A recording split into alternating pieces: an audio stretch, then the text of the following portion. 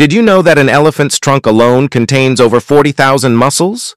Yes, 40,000 muscles. That's not an entire body, just one organ. An elephant has no bones inside its trunk. Instead, it's composed entirely of an amazing network of muscles that give it incredible precision and strength. To put this into perspective, the entire human body contains only about 600 muscles, while an elephant's trunk alone contains 66 times more.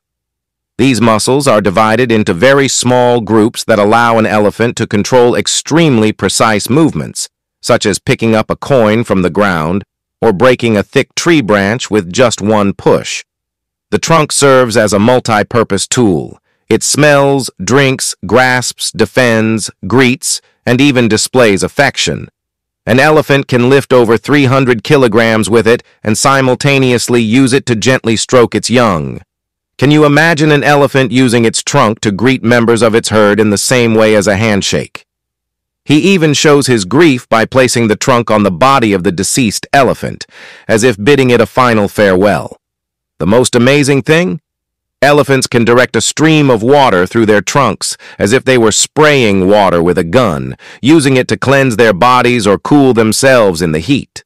All this strength and precision comes from an incredible muscular design unmatched by any other animal on planet Earth. The elephant's trunk is a living example of how nature can combine extraordinary strength and extreme softness in a single organ.